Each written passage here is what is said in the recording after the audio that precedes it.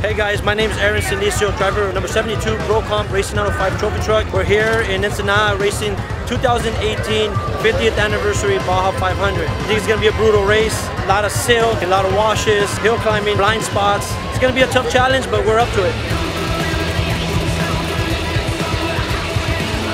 have 210 spec Procomp truck. We pre-ran it, uh, it's rough, and there's a lot of rocks, and luckily our Procomp tires are up for the challenge, so I'm really excited about getting out there and taking on the worst to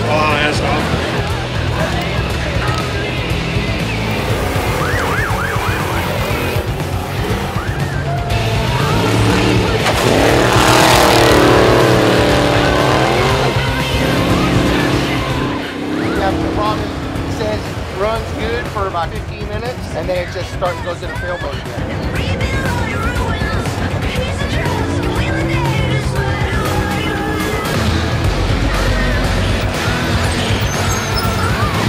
Just backfiring right now.